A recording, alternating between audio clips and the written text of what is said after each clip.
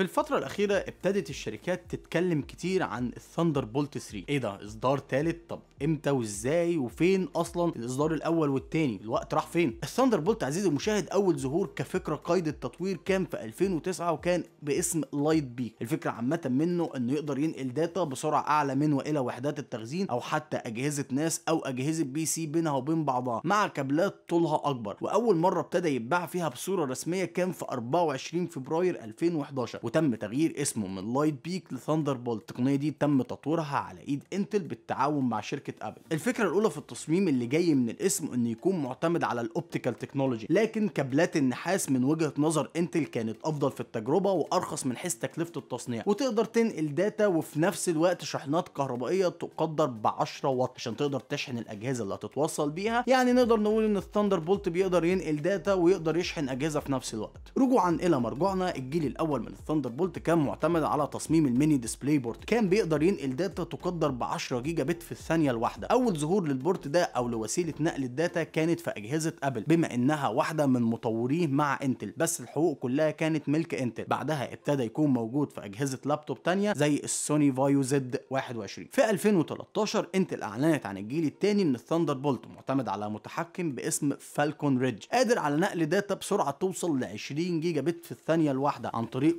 قناتين من الجيل اللي فات. كل قناة منهم سرعتها 10 جيجا بت فغالبا كده كل اللي تم من ناحية انتل في الجيل الثاني هو الدمج بين قناتين توصيل في قناة واحدة. بالعامية انتل جابت قناتين أو اتنين port وحطتهم في port واحد. وطبعا كانت أولى الشركات اللي بتدعم التصميم الجديد كانت ابل أكيد. ونفس شكل المنفذ في الإصدار الأول هو هو نفس الشكل في الإصدار الثاني لكن بسرعة أعلى. ايا كانت بقى انتل عملتها إزاي؟ المهم إن في سرعة أعلى. وده المهم مش المهم الوسيلة. المهم النتيجة. لأن النتيجة هي اللي هتحدد نفعية منتج على التاني. أي نعم الوسيلة بتوري قد إيه في شركات بتتعب عن شركات وفي شركات بتستسهل وتلزق كابلين في كابل واحد. ولسخريه القدر يعني كان أول تعليق من إنتل على processors EPYC كان إنهم جايبين أربعة die ولازقينهم مع بعض. شوف يا أخي الأيام.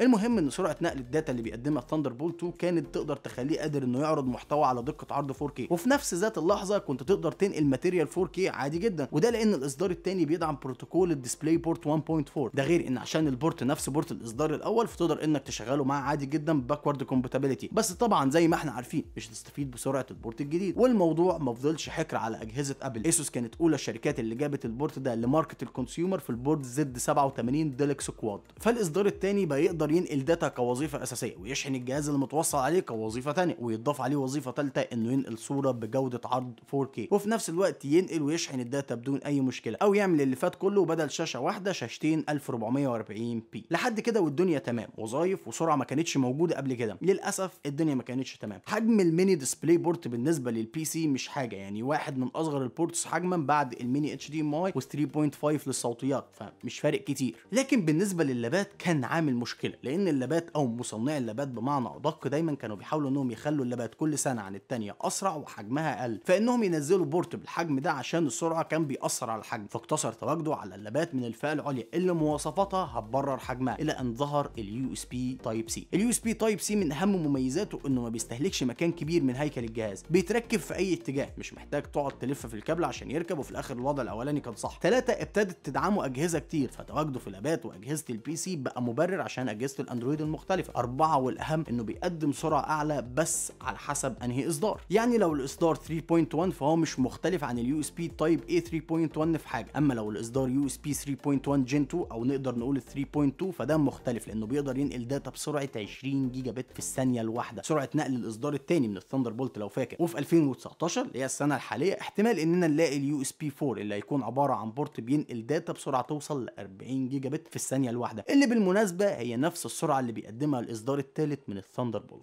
الإصدار الثالث يا سيد الرئيس هو اللي عامل الضجة كلها يعني الأولانيين كانت ليهم ضجة سرعه واستخدام لكن ده ليه ضجة من نوع تاني. اولا الإصدار الجديد بيقدم سرعة ضعف الإصدار الثاني اللي هي ضعف الإصدار الأول. قادر على تشغيل شاشتين عرض في وقت واحد 4K 60 هرتز أو شاشة واحدة 4K 120 هرتز. بيقدر يمد أجهزة ب power يقدر ب 100 واط في النسخة النحاس منه. في منه النسخة ال optical بتكون أطول بس بتنقل data بس فخلي بالك من النقطة دي. السرعة اللي بيقدمها Thunderbolt 3 تقدر ب 5 جيجا بايت في الثانية الواحدة اللي هو ال 40 جيجا بت على 8 اللي هو عدد البت في البايت الواحد. هيطلع لك الرقم ده. الرقم ده خلى استخدامات ال Thunderbolt كتيرة ومتعددة. منهم إنه ابتدى يهدم معتقد إن ما ينفعش تركب كارت شاشة خارجي لللابتوب غير الداخلي اللي موجود. عشان تقدر تلعب ده لو في حالة إن اللابتوب بتاعك ما فيهوش غير ال iGPU من انتل QNAP مثلا من الشركات اللي بتستخدم ال Thunderbolt في عدد كبير من أجهزتها لدرجة إنهم بيقولوا إنك لو مخزن material على ال NAS storage وفي نفس الوقت عاوز ال material دي أنت مش محتاج تنقلها. وبعد كده تحطها على ال Premiere مثلا كل اللي هتعمله إنك بس هت access مكان ال material وهتشتغل عادي جدا بدون ما تحس إن في بطء زي ما شفنا في معرض Computex 2017 لأن material 4K تنقلها بسرعة 5 جيجا بايت في الثانية الواحدة سرعة ال M.2 PCI Express ما بيجيبهاش. دي ميزة. أو ممكن تستخدم ال port ده مع adapter 10 جيجا بت للشبكة مثلا زي ال QNAP ال T310G1T في البداية ال adapter ده فيه منه نسختين. نسخة بتنتهي بال T وده بيكون فيها 10 جيجا بت ام BASE-T من نوع RJ45 بسرعة 10 جيجا بت والكيبل المرجح عشان يقوم بالعملية دي هيكون ال Cat 6e والنسخة الثانية بتكون ال 10 جيجا بت من نوع SFP+ ده ال port ال optical اللي بيحتاج كيبل معين عشان تقدر تستخدمه بيه. ال adapter معتمد على شريحة Aquantia AQC 107 الشريحة لو تفتكر هي نفس الشريحة اللي موجودة في واحدة من أعلى ال boards ل socket TR 4 ال Zenith Extreme العادية. وكان عبارة عن كارت بيتركب على ال PCI Express أما النسخة الألفا الجديدة منها الكارت ده بيكون built in في ال board ال adapter تصميمه بسيط جدا. اتجاه فيه port ال Thunderbolt المعتمد على شكل USB Type C والاتجاه الثاني هيكون فيه ال LAN ال RJ 45 بسرعة نقل 10 جيجا بت في الثانية الواحدة. ما بينهم في شريحة ومشتت ومروحه تبريد لأن على حسب كلام QNAP إن ال adapter ليه درجة حرارة معينة بالاعتماد على نوع الكيبل المتوصل والمسافة. يعني ال cable ال Cat 6A المقترح مع ال adapter ده لو طوله 100 متر فمن المفترض إن ال adapter ده درجة حرارته تكون 35 درجة. لو طوله 50 متر المفترض إن درجة حرارة ال adapter ده هتكون 40 درجة. فواضح كده إن على حسب كلام QNAP إن كل ما المسافة زادت كل ما درجة الحراره كانت أقل. والكلام ده كله طبعا بالتقريب لأن الموضوع محكوم بدرجه الرطوبة. ال adapter عشان يشتغل بكل كفاءة على ال Windows وال Linux بيكون محتاج driver خاص بيه. أما لو أنت من ال Apple fanboy فأنت مش محتاج إلا إن يكون معاك آخر إصدار من ال macOS أو تبتدي بإصدار 10.13.3 وتوصله في ال Thunderbolt اللي شبه ال USB Type C وتشتغل على طول. خلي بالك إن ال port شكله هو هو شكل ال USB Type C لكن مش معنى كده إن لو ال lap أو الجهاز فيه Type C هيشتغل عادي جدا. لأ مش هيشتغل. هل يختلط الزيت بالماء؟ الفكرة إن الشيء اللي بيربط بين ال adapter والجهاز هي شريحة ال Titan Ridge الشريحة الخاصة بال Thunderbolt 3 فأنت لازم جهازك يكون داعم بشكل أساسي لل Thunderbolt 3 عشان تقدر تستفيد بال adapter ده ال 10 جيجا بت في النقل. فال adapter فكرة كويسة وفكرة من ضمن أفكار كتير موجودة وأفكار هتكون موجودة طول ما ال port بيقدم السرعة دي. ويقال إن الإصدار اللي جاي من ال Thunderbolt هيكون ضعف السرعة الحالية. فتقدر تعتبر إن ال Thunderbolt بصورة عامة ميزة ليها استخداماتها بسبب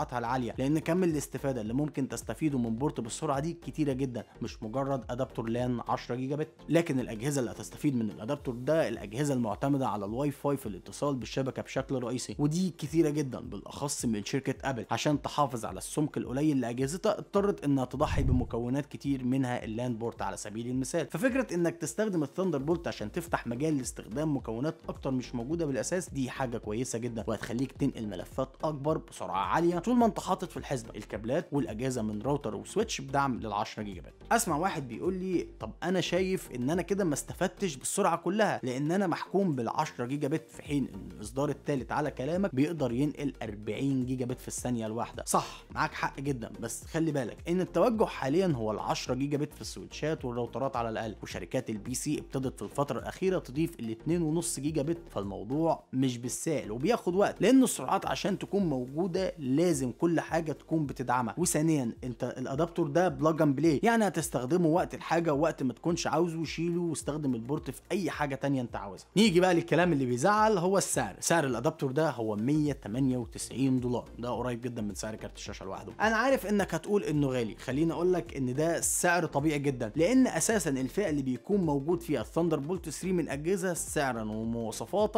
هي غالية. الكيبل نفسه سعره حوالي 40 دولار. لو كارت PCI بنفس الشريحة ونفس السرعة. طبعا سعره حوالي 165 يورو أي ما يوازي 184 دولار. ده غير طبعا إنك محتاج ال adapter اللي يربط بين الكارت ال 10 جيجا بت وبين ال cable ال Thunderbolt. القصد يعني إن سعره عادي جدا وطبيعي مقارنة بالوظائف اللي بيقدمها. والطبيعي جدا إن لو الحلقة دي عجبتك تعمل like وتشترك في قناة عرب هاردوير عشان يجيلك اشعار بالحلقات اللي جاية. وما تنساش تسيب لنا رأيك تحت في التعليقات. وكالعادة أشوفكم في الحلقة الجاية.